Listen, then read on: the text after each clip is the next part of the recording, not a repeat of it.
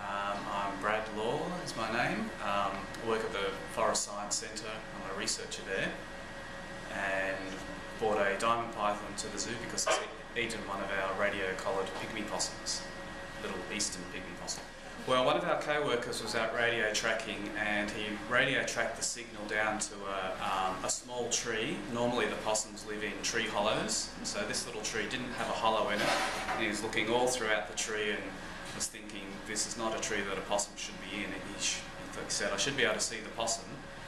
And uh, eventually he kept looking and just in the top of this small tree you could see a, a strange shape and he realised it was a, a small python coiled, coiled up I there. don't, I don't feel anything that feels remotely like a, a radio tracking collar. One that's got a wire antenna about that long. In a python.